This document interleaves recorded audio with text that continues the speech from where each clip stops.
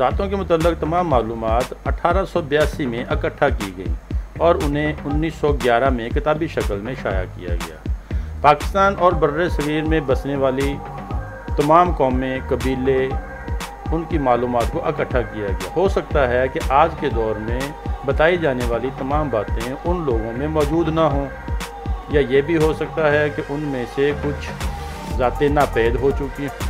136 साल पहले लिखी गई वो तमाम मालूम हु बहू उसी हिसाब से। दिलचस्प मालूम आपको पेश कर रहे हैं। आपको हमारी वीडियो पसंद आए तो सब्सक्राइब करें, लाइक करें और शेयर करें और अपने कमेंट से हमें ज़रूर आगाह करें। तो चलते हैं अपनी नई वीडियो की तरफ़। चंगल ज़ात की तारीख। मुल्तानी ज़बान में चंगल पश्तो में चुनगले कहा जाता है चंगल गालबन कदीमी नस्ल के पस्त ज़ात लोग हैं, जिनकी सबसे ज़्यादा तादाद गुजरात, अमृतसर, लाहौर, फिरोजपुर और फरीदकोट और बिलखसूस सियालुकवट में मिलते हैं। वो कहते हैं कि उनके अजदाद जम्मू पहाड़ों से आए थे। वो काम की तलाश में दर बदर फिरते रहने वाले खाना बदोश हैं, लेकिन बड़े शहरों के नवा में बस्तियाँ बनाकर रहते हैं। वो तकरीबन हर किस्म का काम कर लेंगे, लेकिन ज़्यादातर जरी मजदूरी का काम करते हैं। जबकि इनकी औरतें अनाज के व्यापारियों के लिए गला छानने और साफ़ करने का काम करती हैं।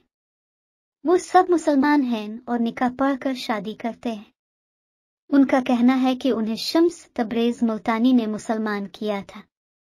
इस बुज़ुर्ग ने उनके जद्द अमजद एक हिंदू राजपूत को हिदायत की थी कि वो ईमानदारी के साथ मेहनत करे क्योंकि ऐसा करना चंगा यानी अच्छा लगता है। इन कबीलचे हैं पहुलिन चौहान, मिनहास और सलह बताए जाते हैं। इनकी औरतें अब भी शलवार की बजाय पेटीकोट पहनती हैं, लेकिन ये सुर्ख की बजाय नीले होते हैं। चंगल नहायत मेहनती और ज़्यादा जराइम पेशा नहीं। उनका एक अपना मखसूस लहजा है। डॉक्टर लिटेंस के मुताबिक वो खुद को चंद्रा नहीं, बल्कि चौबना कहते हैं, और लफ्स चंद्रा गालिबन छाना से माखूज है। ये कमज़ोर राय भी दी गई कि चंद्रा असल में जंदारी की ही एक सूरत है।